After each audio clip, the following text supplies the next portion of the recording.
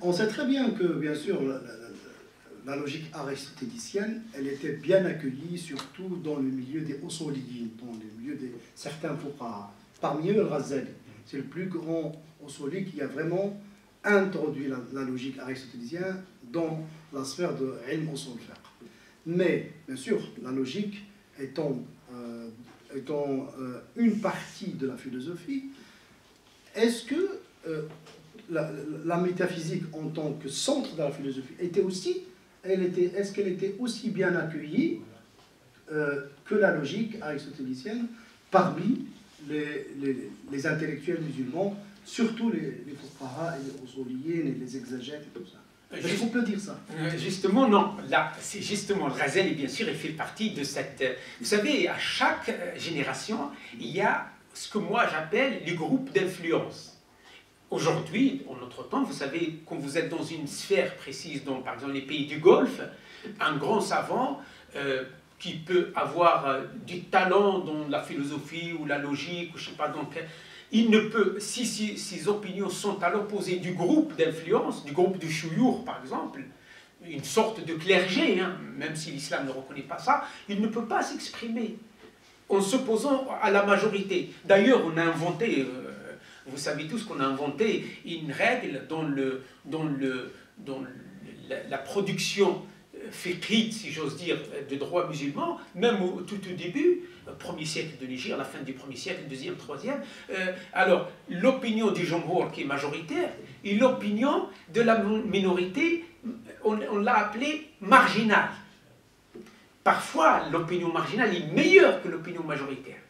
Parfois, et vous trouver ça dans le fait. Parfois, nous, en notre temps, on fait appel à ces opinions marginales parce qu'elles répondent mieux aux problèmes de notre société, que l'opinion euh, générale. Donc, la philosophie en général, surtout le côté qui s'occupe de tout ce qui est scatologique, tout ce qui est la métaphysique. métaphysique. Alors, euh, c'était rejeté. C'était vraiment. Il y avait même de l'anathème. Euh, ceux qui traitent, qui s'introduisent dans ce domaine-là, ils parlent de, la, de, de ces sujets-là, euh, du, du, point de vue philosophique, on leur jette l'anathème et, certains étaient même condamnés. Donc, voilà, le Razali, bien sûr, vu comment il s'inscrit dans ce... Comment expliquer, alors le fait que Ibn Rushd, par exemple, lui, il n'est pas le seul, bien sûr, il était à la fois faqih, théologien, mais aussi un grand commentateur d'Aristote. Oui, absolument. Oui, mais Rushd, il est venu, il est venu bien sûr un siècle après, et que il ne faut pas oublier que, vous savez, dans toutes les civilisations, parce qu'il y a la religion, il y a la religion qui produit une civilisation. Toutes les religions ont produit une civilisation. La civilisation, euh, euh, c'est vrai que les bases fondamentales restent toujours religieuses, mais parfois elles, elles s'éloignent un petit peu. Donc elle donne, elle garde une sphère précise à la religion, mais elle peut aller euh, dans différents domaines qui ne plaisent pas forcément aux religieux et à la religion. Où il y avait toujours des moments de, euh, comment dirais-je, d'ouverture dans, dans, le, dans le monde musulman. Il y en avait au temps des Abbassides, euh, l'époque de, de, de Mu'tasim, euh, d'Ibn Harun Rashid, le calife le, Mu'tasim, c'était une, une, belle période qui a été occultée. Parce que pourquoi on dit, moi j'ai étudié dans les écoles classiques, on nous dit il ne faut pas étudier sur ce calife-là parce qu'il était bizarre, il était contre les sunnites, il était euh, il a favorisé les mu'tazilites. Oui, il a favorisé les mu'tazilites euh, qui eux ont réagi, ont réagi mal en profitant bien sûr de leur portée, euh, leur place dans le pouvoir, etc., contre leurs adversaires. Mais cela n'empêche que ce sont des périodes, des moments d'ouverture très importants et qui ont ramené beaucoup de contributions dans notre patrimoine islamique en général. mais, mais euh, comme j'ai dit, le, le, problème il c'est que euh, toujours il y avait une majorité euh, qui dominait, voilà, des fuqaha, des juristes, etc. Et Ibn Rushd, parlons de Ibn Rushd, il a souffert. a, après, il a été chassé même de l'Andalousie, il, il, est mort, comme vous savez, au Maroc. Et donc il a souffert, il a payé le prix fort justement parce qu'on l'a accusé de, justement de, sortir de l'orthodoxie islamique et le sunnisme, et de favoriser la philosophie qui est du coffre tout simplement, etc. etc. Et d'ailleurs, le Razali, Razali c'est quoi? Moi, je ne juge pas les intentions, parce que chacun, c'est Dieu qui... On va venir peut-être à Razali. Voilà. Peut-être à Razali. Justement. Voilà. Euh, alors, justement, euh, déjà dès le titre, qu'est-ce que Razali reproche aux philosophes? D'abord, mais avant cette question, je voudrais bien sûr... Une question que je voulais aussi peut-être reporter, mais je vais la poser maintenant. Est-ce que Razali approche la philosophie et entame cette critique aux thèses des philosophes en tant que philosophe ou bien en tant que théologien? Hmm. Alors, Razali, ça dépend des personnes. Si vous me demandez mon opinion, euh, il fait les deux à la fois. Il fait les deux, Razali, il a étudié la philosophie. Et lui, il dit, il reconnaît qu'il ne connaissait rien à la philosophie, mais il l'a étudié pendant deux années entières, justement pour utiliser le même procédé. Donc, dans son argumentation aux philosophes, donc il utilise le même procédé. Donc il répond aux philosophes euh, comme un philosophe.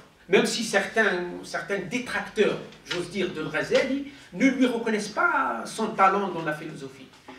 Mais moi, je pense, ce qui est plus visible dans son, son œuvre, son travail, non, il répond aux philosophes content, parce qu'il le dit, hein. il le dit, je suis venu répondre et réfuter les thèses euh, philosophiques pour protéger en quelque sorte ma umma la majorité de la Ummah musulmane qui sont les sunnites, protéger l'aqidah sahiha, protéger la foule qui ne connaissent pas, qui sont des néophytes, qui ne sont pas versés dans la connaissance philosophique, pour leur protéger leur religiosité. Il le dit, il le déclare. Vous voyez C'est pour cela il condamne pas seulement euh, les philosophes. Bien sûr, la condamnation, elle moi, elle me paraît euh, euh, proportionnellement à leur, travail philosophique. Il condamne surtout, comme lui il l'appelle, les suivistes, les, suivistes ou les imitateurs serviles de des musulmans. Bien sûr, il, parle de Al-Farabi, de, Ibn Sina, surtout. Vous voyez, parce que Broch est venu après, même si, si quand vous lisez, comme si Ibn Rushd et Al-Ghazali étaient face à face. donc il répond à cela.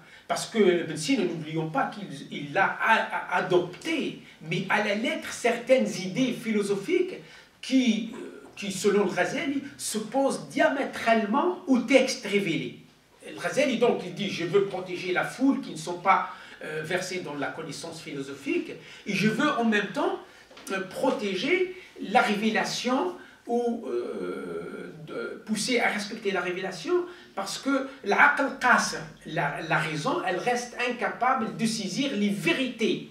Euh, vous voyez surtout lorsqu'il s'agit d'une vérité absolue qui se rattache bien sûr à la religion. C'est pour cela qu'il a traité de mécréants, hein, des gens qui ont quitté la religion, les philosophes, dans trois questions, et il a traité de euh, de, comment dirais-je, pervers, mais pas pervers au, sens moral du terme, mais pervers au sens de... Ils ont, euh, ils ont euh, perverti, c'est-à-dire la pureté de la, de la religion, vous voyez donc 17 questions, parce qu'il l'a traité, il a répondu aux oui, 20 questions. On y viendra, mais pourtant, mais pourtant et il me vient à l'esprit maintenant surtout la, euh, une citation de Ibn qui est une critique de Ibn oui. qui est très connue par rapport à Razali, qui disait que euh, Shaykhuna al-falasifa wa lam ah, Ça veut dire, notre cher, ça vous parle de Razali, il a, euh, on va dire, avalé les philosophes, il n'a pas pu les remettre. C'est-à-dire, pour lui,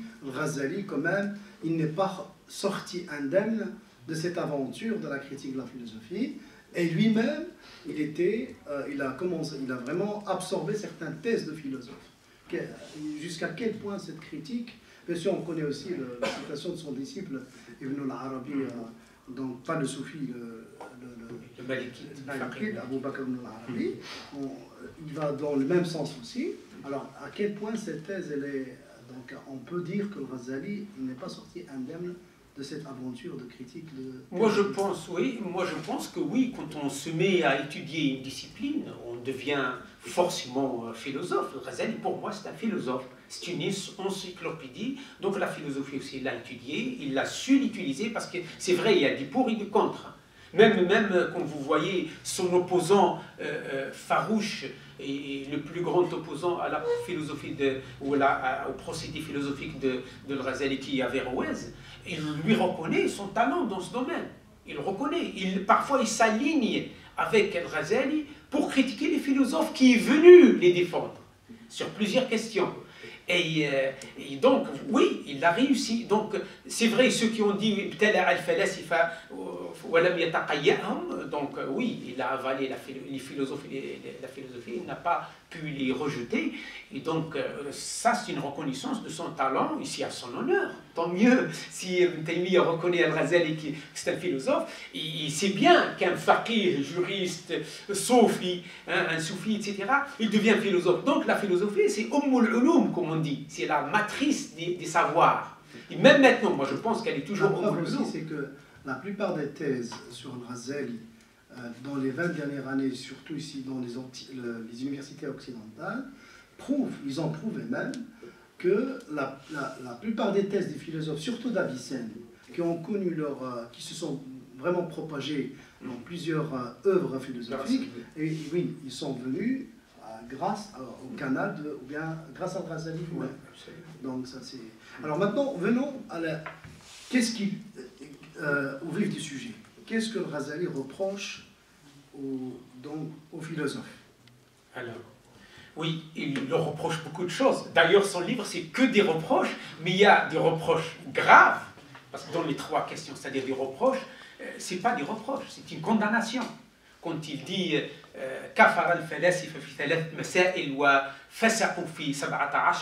les philosophes ont, euh, sont devenus mécréants ils sont sortis de la religion. Je pense que là, il ne parle même pas des, philosophes de l'Antiquité, des Grecs, parce que vous connaissez la philosophie grecque, la multiplicité des divinités, des dieux, etc. Donc ça va de soi s'ils ne sont, ils sont pas croyants. Ça, c'est pas... Moi, je pense que Razel est vraiment, vu ma, mon étude approfondie de ses livres, c'est que là, il parle vraiment des philosophes musulmans, parce qu'ils ils ont de l'influence sur, sur les musulmans. Les musulmans ne connaissaient pas euh, ou comme il dit Louis les fidèles ne connaissaient pas les philosophes de l'Antiquité. Par contre, ils connaissent le Farabi ou Ibn Sina, le, Tabib, euh, voilà, etc. Donc, lui, il, répond à cela.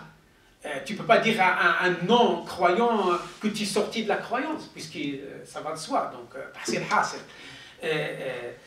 alors, dans trois questions très importantes, il débat, hein, il, les condamne c'est étonnant. Il les condamne, mais il débat avec eux. C'est-à-dire, avant, il les condamne, dès le début, dans l'introduction, il les condamne, mais il dit, je vais vous prouver pourquoi je les condamne. Et euh, ce qu'on reproche aussi à Al-Razali ici, c'est qu'en euh, les condamnant, euh, il n'utilise pas seulement l'argumentation, comme on dit, apodictique, burhan, l'aqli l'argumentation philosophique seulement ou euh, du syllogisme. Il utilise également le texte religieux. Et certains, certains opposants à la méthode de Razel, ils lui reprochent ça. Tu, tu, tu prétends avoir étudié la philosophie, tu peux répondre aux philosophes dans leur, euh, dans leur discipline, mais tu utilises la, la, surtout, euh, surtout je pense, vous avez vu le Jadiri, qui le critique beaucoup dans ce domaine-là, et d'autres également. Euh, voilà, et c'est vrai, moi quand j'ai vu, il a utilisé en effet, là quand il y a cours d'argumentation rationnelle ou intellectuelle ou philosophique, le Razali, il a recours au, au texte. et ça, c'est c'est mal vu chez les philosophes, justement, parce qu'il doit utiliser toujours des argumentations intellectuelles, rationnelles. Pourquoi pas s'il y a une donnée scientifique, tu peux l'utiliser, mais pas le texte. Alors, dans les trois questions, qui sont des questions très importantes, hein, qui soulèvent toujours des, débats euh, dans, dans l'élite éclairée musulmane également. Elle a soulevé, elle soulève toujours ça. Euh, même chez certaines personnes tout seules comme ça, ils se posent des questions sur cela. On va donner des, exemples précis parmi, les, parmi les, vingtaines de thèses, mm. qu'il, euh, les quasi-vingtaines de thèses qu'il critique. On va donner des exemples, surtout la, la question de l'ancienneté du monde, ou bien oui. par exemple. Oui. Alors, alors la première question, justement, la plus pertinente, la plus importante, c'est vrai, comme je vous ai dit, même scientifiquement, elle pose problème. Même avec aujourd'hui la découverte de ce qu'on appelle le constant cosmologique, hein, qui euh, 112 puissance 10, puissance 10, etc. 122 puissance 10, puissance, etc. Ils ont dit 122 et, avec le, tour de la Terre, des zéros derrière euh, pour faire le, tour de la Terre.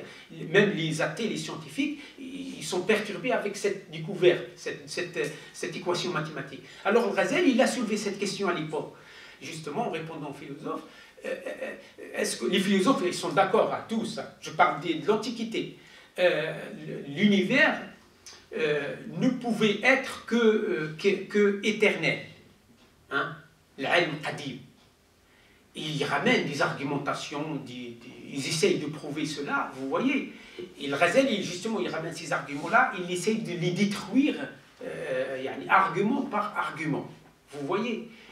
Un débat chaud, franchement, qu'on utilise dedans, moi je n'ai pas réussi à, donner raison ni aux philosophes, ni à Al-Razel. Oui, bien sûr, moi je crois que l'univers n'est pas éternel, surtout son début. Parce qu'il y a le problème de l'éternité de l'univers. Parce que si on parle du début, de la fin, le problème des philosophes, c'est qu'ils disent que le monde, il est pré- et post-éternel. Ça, c'est pratiquement Dieu. Chez le Razel, il répond à ça, dit, quand tu dis l'univers, il n'a pas de début, il n'aura pas de fin, il n'y a que Dieu qui a ça. Donc c'est ça qui un petit peu met le Razel en colère, et il essaye de, de prouver que non, qu'il y a un seul qui a ce, concept-là, de l'après et la post-éternité. Parce que l'univers, tout ce qui n'est pas Dieu, dit le Razel, et l'univers, tout ce qui n'est pas Dieu, est créé donc il a certainement un début. Donc tu ne peux pas dire que l'univers, il, il est éternel. Ibn Rushd d'Averroès, justement, il répond là, il dit non, non, Brazil, tu n'as pas compris ce que voulaient dire les, les philosophes. Il dit non, ils n'ont pas dit que l'univers n'avait pas début, mais il venait de quelque chose. Certains appellent ça le cytoplasme. Hein, cytoplasme, c'est une matière à partir de laquelle, mais ils ne nient pas, même les philosophes, euh, selon Averroès, ne nie pas que cette plasme euh, euh, pouvait avoir un début, mais très ancien. Donc Ibn Rushd, il essaie de situer les choses, il dit à, Abu Hamid, tu n'as pas compris comme dans l'Asma Sifat d'ailleurs, vous voyez, et dans l'omniscience divine, il dit, tu n'as pas compris qu'est-ce qu'ils voulaient dire les, philosophes, c'est qu'ils disent, c'est vrai, c'est qu'ils ont une fin, ce que l'univers, le départ de l'univers avait un, un moment, euh, il n'a pas, l'éternité de Dieu, mais il est vraiment très éternel, très, très ancien. Donc, euh, il dit c'est un concept, c'est une façon de dire les choses. Vous voyez Donc, euh, il répond, mais moi je pense que. Surtout ici, dans ce contexte, il ridiculise un peu la théorie de l'émanation.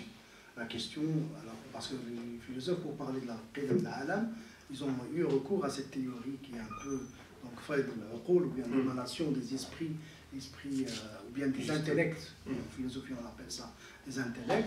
Alors, qu'est-ce que c'est que ça Qu'est-ce que c'est cette théorie Comment lui et la critique? Oui, euh, les philosophes disent que Dieu ne peut pas ne pas créer l'univers. C'est une, c'est comme les, la chaleur qui vient du soleil. Le soleil existe, donc il y a de la chaleur, il y a des rayons, il y a de la lumière. Ils disent Dieu existe, il faut qu'il y ait un univers. Donc c'est ça, c'est ce qu'on appelle le l'émanation. Ça vient de Dieu. Donc Dieu, il ne peut pas d'ailleurs avoir une existence s'il n'y a pas cette émanation.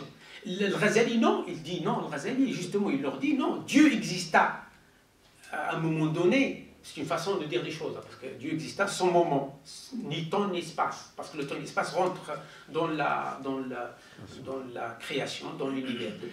Dieu exista, et justement, c'est là où le débat vraiment grave, là où tu ne peux pas, franchement, tu, donnes raison à personne. Sauf du côté de la foi. Moi, je crois parce que je. Voilà, il y a un texte. Même si je n'ai pas d'explication, je n'ai pas d'équation qui prouve la foi. D'ailleurs, même les philosophes de notre temps, ils disent que la foi et l'athéisme ne sont pas prouvables scientifiquement, ni rationnellement. C'est une, une émotion. Un athée dit Dieu n'existe pas, un croyant dit Dieu existe. Mais est-ce qu'ils peuvent le prouver Personne ne peut prouver quoi que ce soit. Et justement, c'est là où il dit, le Razel, les philosophes, quand ils disent, euh, si on dit que Dieu exista, il y a un moment donné, il a décidé de créer l'univers, ça veut dire qu'il y a un changement. Donc il y a un, changement qui s'opère dans la volonté de Dieu. Et vous savez tous, même vous, croyants, Razel et autres, bien sûr, c'est un débat imaginaire que si un changement s'opère dans l'éternel, dans l'unique, dans l'absolu, et donc il a une catégorie, une catégorie de, une qualité euh, euh, euh, contingente. Hein? ça fait or l'éternel. Par exemple, les philosophes, les anciens philosophes appellent Dieu le moteur qui ne meuve pas. Pourquoi on bouge? Parce qu'on a besoin de bouger. On ne peut pas toujours garder. On a besoin de ça. Dieu, pourquoi il ne bouge pas? Parce qu'il n'a pas besoin tout simplement de mouvement. Le mouvement, il est lié à des choses, à des éléments, hein, à la géométrie universelle, etc au temps et à l'espace. Dieu n'a pas. Le mouvement implique le changement, Exactement. la métamorphose. Exactement. Et Dieu, il est vraiment. Euh, il n'a pas besoin de ça. Il est éternel, il est unique, il n'a pas besoin de ça. Ici, là, vraiment, où. C'est pour ça que j'ai dit à, euh, aux étudiants, euh, j'ai toujours dit aux étudiants, attention, ne croyez pas que vous avez la vérité absolue, que vous êtes capable de défendre votre foi. Si vous, vous rencontrez un philosophe de l'Antiquité, eh bien, vous serez incapable de, de, de, de, prouver votre foi. Euh, que, ce soit l'existence de l'univers, l'éternité de l'univers ou sa contingence, ou la pérennité. Parce qu'attention, les philosophes disent que l'univers, euh, aussi, ils ramènent le même argument, que l'univers n'est pas périssable. Il subsistera. Peut-être il y aura un changement, Hein? mais il n'est pas périssable. Il ramène plein d'arguments, bien sûr, pour dire que voilà, euh, si Dieu crée et après il détruit, ça veut dire qu'il y a un changement donc, qui s'opère en lui. Donc euh, voilà, c'est une, ça c'est une euh, particularité humaine. Mais, l'évolution, l'évolution surtout scientifique actuellement, il donne plus raison aux gens, ou bien aux philosophes, qui ont, surtout à un moment donné, considéré le, mouvement et la métamorphose dans l'univers. Aucun scientifique ne peut, ne peut prétendre maintenant que l'univers il est stable, il est stagnant, stagnant. Il est vraiment, il y a toujours la métamorphose et le changement. Mais ça, c'est à un moment donné ce que le Razali disait. C'est qu'il y a vraiment cet univers, on sait très bien par l'expérience elle-même qu'il une métamorphose, qu'il est en métamorphose perpétuelle. Et c'est ça l'argument mm. pour le pour lequel Razali, vraiment, donc, il a relevé une incohérence dans la thèse des philosophes. Je ne sais pas, est-ce que... Oui.